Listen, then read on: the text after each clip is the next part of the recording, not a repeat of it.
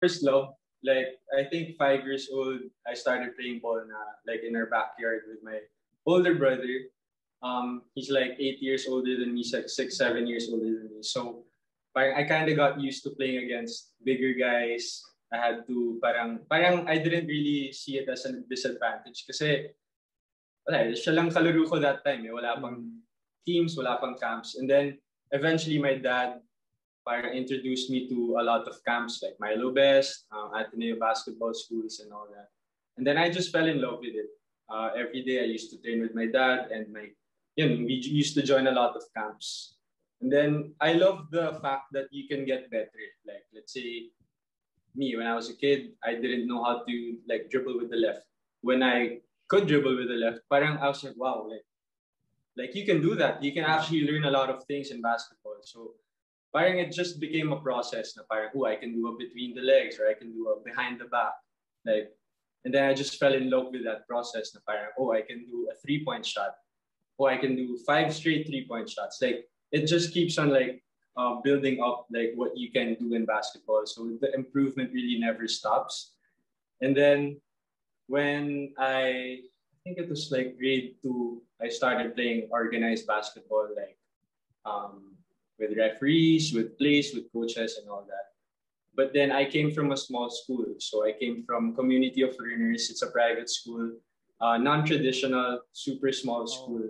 And then we used to play against like the big schools, Ateneo, La Salle, Xavier, and we would be like we would lose like 60 points. 50 I can relate. I used to be in Montessori also in Merville. Ganun din kami kasi we're right? a small school. Yeah. Yeah. So parang I was kind of like quote unquote the star, but you would always lose like 40, 50 mm-hmm. points. So as a young kid, I was like, how do I get to that level and all that? So that parang as a young kid, my parents really taught me na parang uh, it doesn't mean that if you lose now, you're gonna lose forever. Ganyan. If you work hard, you'll you'll parang get to their level, you'll be able to compete against them.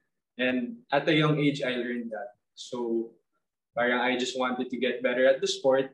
And then eventually I had a opportunity to try out for the UP team, UPIS juniors team. And then I got in, not because of basketball, because I passed the test. So good so example then. Yeah, I was a small I was a small like five one kid. Oh. I was I oh. was decent. I was actually like enough to to get into the lineup. But I was so small, five one.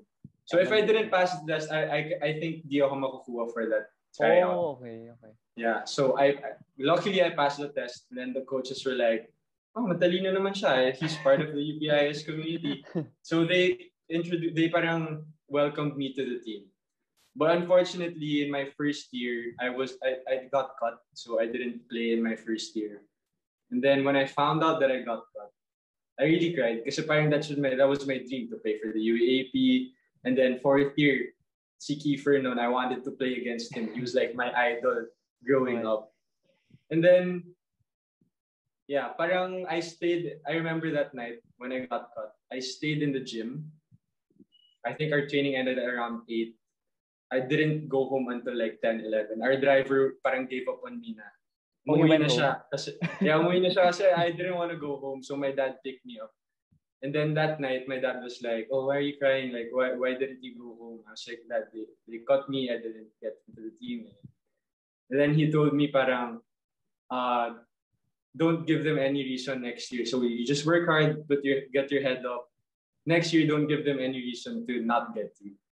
And then that kind of stuck to me. I listened to my parents. I was a parang mabait naman na kid. So uh, yeah, I listened to them. So from that day on, that's where it started. Uh, I eat healthy. I didn't eat chips for that whole year. I didn't um, drink soda for that whole year. I got my eight, nine hours of sleep every night because I wanted to grow tall. I was five one, mm. right? And then before classes, I would run around UP almost like three to four times a week. And then I wasn't allowed to train with the Team A guys.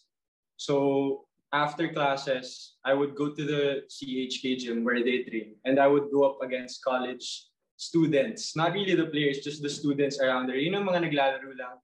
So as a high school kid, I would go up against college people na way bigger than me. And then I used to train with my dad. Then. So imagine there are two courts.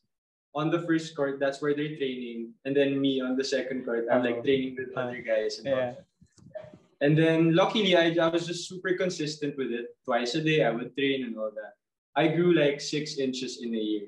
Growth spurt talaga. So from 5'1", I grew to 5'7". And then the tryouts came. And then boom, like my skills were there now when I was 5'1". But I grew.